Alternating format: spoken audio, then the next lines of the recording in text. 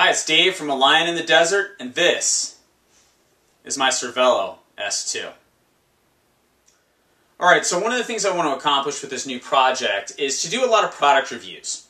Uh, I ride in a lot of group rides here in Scottsdale. Some people have some pretty cool bikes that I hope to show you.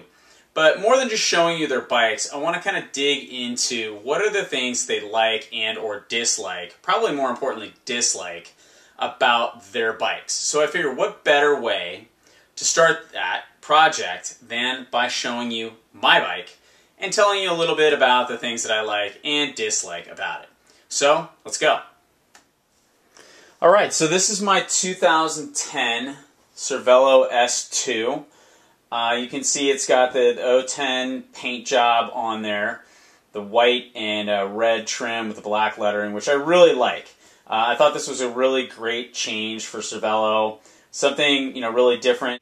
Pretty stock uh, bike here. I'll zoom in on some of the components. Um, you know, the Fizik seat, it's got Ultegra components, um, which I found to be very solid. Uh, I was on a Felt B2, a, a, a, time trial bike, before this one that had Dura Ace, and before that I had an older Specialized bike uh, that had Dura Ace as well. And, and I was a big fan of Dura Ace and I was really concerned about moving to the Ultegra. It's a little bit heavier. I'm not such a weight weenie, so it's not such an issue for me. But I've been very impressed with how solid this group is. It does really well under pressure. I can shift, um, you know, without any issues going uphill, uh, which is a good thing to have around here in Scottsdale, in particular with some of the group rides that I do. Um, so, likes and dislikes about this bike. The, the two things that I don't like about it, and I think they're related items. The, the first one is it's a hair small for me.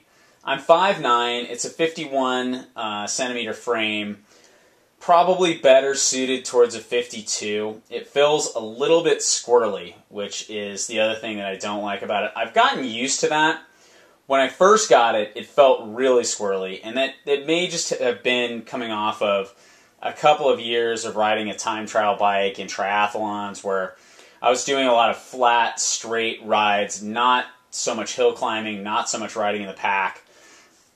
And it may just be related to that. It, it, I haven't noticed it as much as when I first got the bike, but it really felt a little squirrely. And I think that may be due to the frame size, probably better suited towards a 52. Um, short of that, I have very, very few complaints about this bike. When I first got it, I really kept stopping to check the tire pressure because I was sure that I had a flat. Uh, it's extremely smooth. It does not have the really, really narrow, thin chain stays that the S3 has, but I haven't found that to be an issue. It's really super comfortable to ride and uh, you know on all sort of terrains. The other thing I really like about it is it's really really slippery. You can see this big down tube, and if I were to shoot it from this direction, you'd be able to see how aerodynamic that is. Uh, I still do race some triathlons.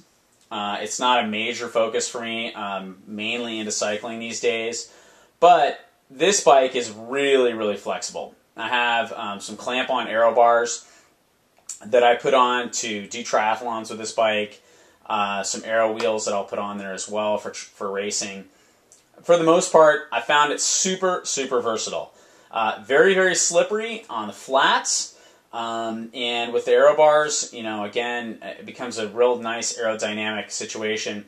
And then also, uh, really really good, just competent bike in the pack, uh, as well as on climbs. So that's the basics on the S2. Let's look at a few specifics.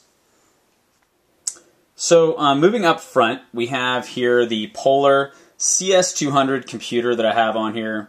Um, you know, it's got speed, cadence, heart rate, all of which I find very, very useful. In particular, the heart rate has been, uh, I, I, mean, I think that's just, for me, an essential uh, for any sort of training. I found the heart rate monitor to be really, really accurate and um, gives you good data you know, it's not it's not as cool as one of the Garmin's um, with the GPS in there or anything, but you know, it definitely gets the job done.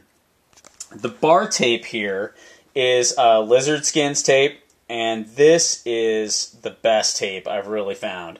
I mean, this stuff is super, super tacky. It's really durable. Um, I've had it on there for probably eight months now, and you could barely tell. I mean, it looks brand new. Uh, I mean, it's got a little bit of discoloration, but again, we're talking about white tape. I've never had uh, regular cork tape last that long. Here's the Ultegra uh, shifters. See um, the you know good solid lever, nice and big, um, good for hand position and everything. Really, really happy with all that. Um, you can see this this down tube here, sort of how big it is, and it comes. Cervelo does this teardrop shape where it's wider at the bottom and then narrow at the top, and you know it's supposed to be sort of more aerodynamic situation. Again, you know, pretty straightforward. Ultegra drivetrain. Um, nothing too fancy here. Fulcrum wheels. This is pretty stock at this point.